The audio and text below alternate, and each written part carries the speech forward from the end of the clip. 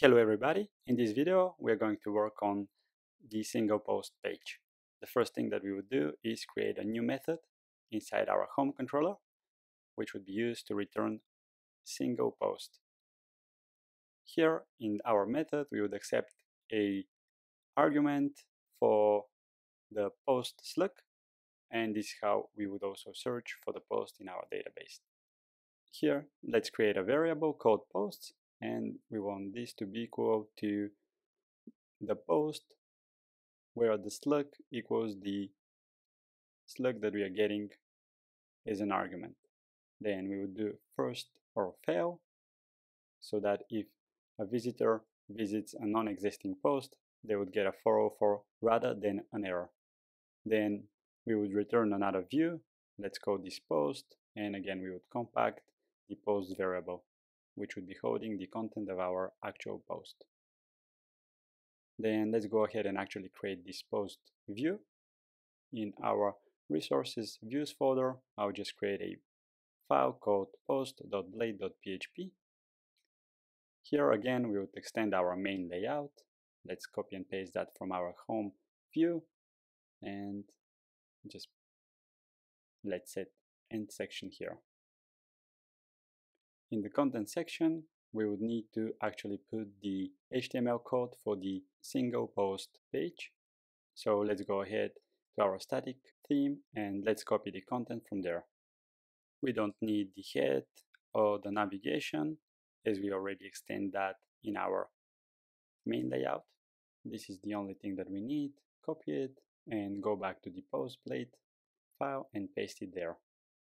Quickly save that and let's go back to our web.php file and let's create a new route.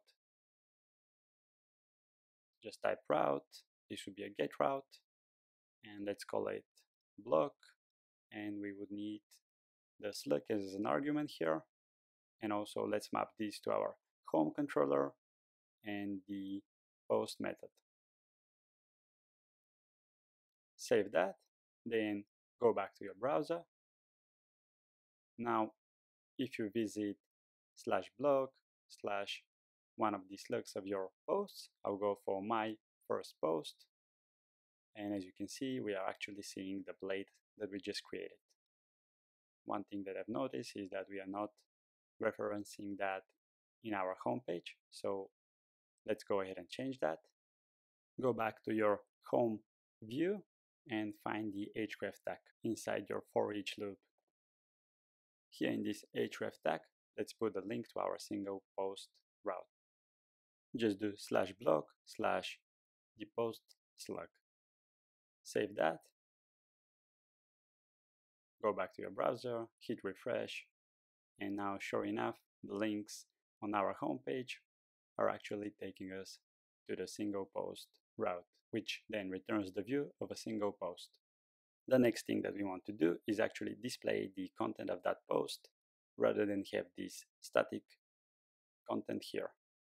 So let's first delete those HTML tags. Just select them and delete them. And here, all that we need to do is print out the post body, as this is the table where we actually store the content of our post in our database. Save that, go back to your browser, refresh, and as you can see we actually see the content but there's one thing we need to change. We want those HTML tags to be rendered rather than displayed like that. There is a minor change that we need to make to our view. So rather than using the double curly bracelets we need to change them to a single curly bracelet followed by two exclamation marks. The same thing for closing this is how Blade would actually render the HTML rather than escape the HTML tags. So while we are here, let's go ahead and update the heading. Let's delete this text here. And let's put the post title. Okay, I'll delete this H2 and let's update the posted date.